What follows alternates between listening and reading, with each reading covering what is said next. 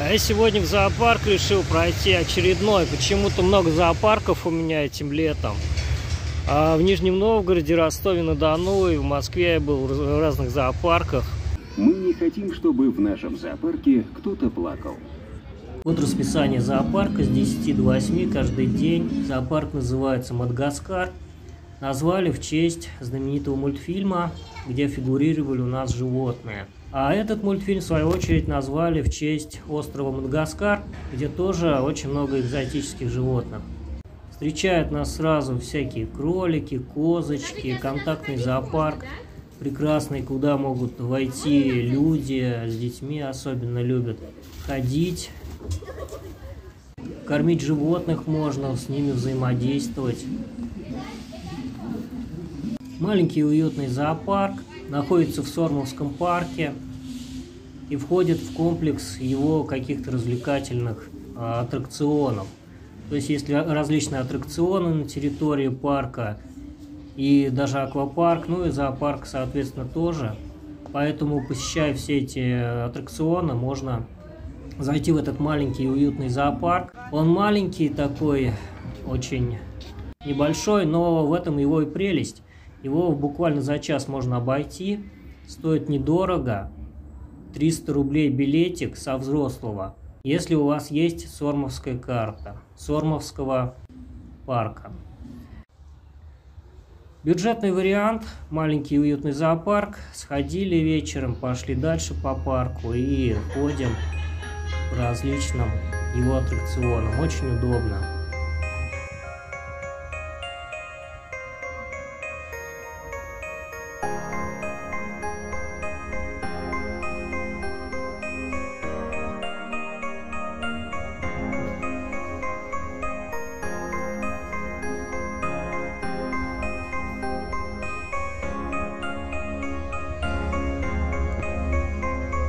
Звери за стеклом и в вольерах, страусы, птицы различные, лисы, коровы. Вот священная корова, пожалуйста. Индийская. Кормить животных запрещено, за это штраф 5000 рублей, но некоторых можно, поэтому продают специальные корма.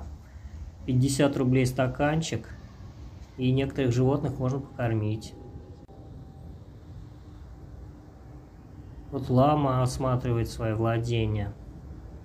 Это волк. Он старенький уже, но видно, что матерый. Это тоже волк. Я бы вот с собакой, если честно, перепутал. Но это полярный волк. И лапки, видно, у него мощные. Тигры отдыхают. Тут очень много больших кошек. Они живут подвое в основном, чтобы была пара. Львы, тигры. Льва я, к сожалению, не видел. Может, они прятались внутри где-то. Ну, тигры были в доступности. Лисички. Очень странный у лисицы взгляд, такой, как, не знаю, привидение. Насухи очень активные, это родственники енотов, поэтому они все время бегают, что-то собирают. Вот тигр проснулся, тигрица и большой тигр. Готовится к охоте. Это маленький ягуар, леопард вернее. Они бывают вот такие черные и в пятнышках. Но по сути это одни и те же звери, просто разные расцветки.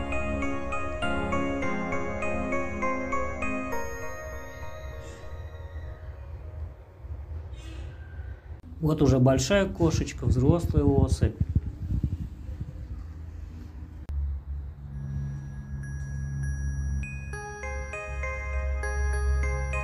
Это у нас рыси. Большие лапки у них такие. И ушки с этими.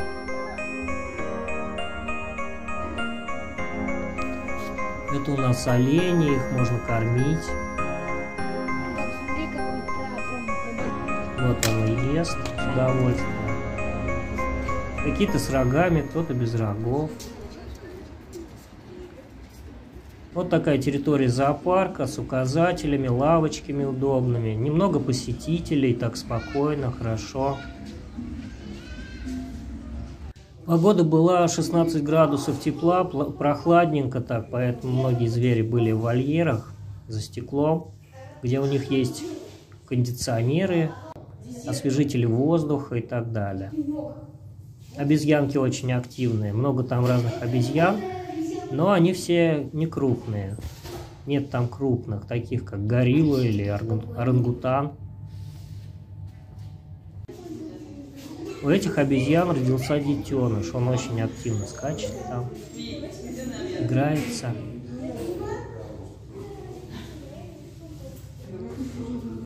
Обезьянки вечером уже готовились ко сну, поэтому они так особо не прыгали.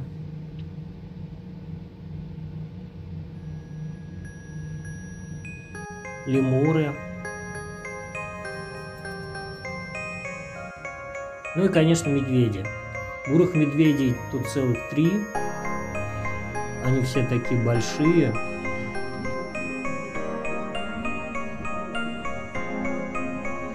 Есть у них там бассейн. Я видел, как они купались летом.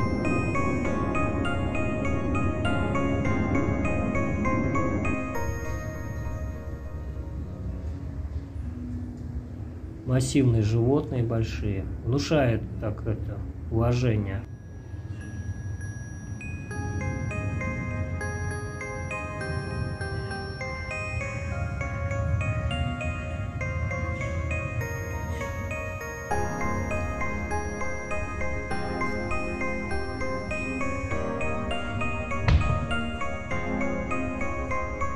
Выдра играет с мячиком.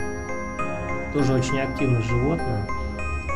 Большой у нее бассейн, очень удобный.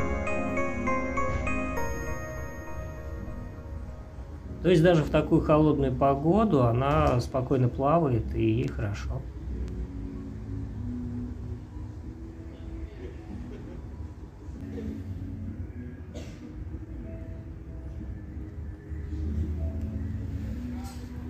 Ну, еще немножко тигров.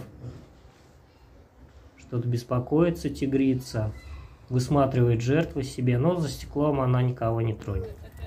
А, да, вон второй спит. Мама, можно это, это можно как-нибудь напугать? Вот еще одна дикая кошечка.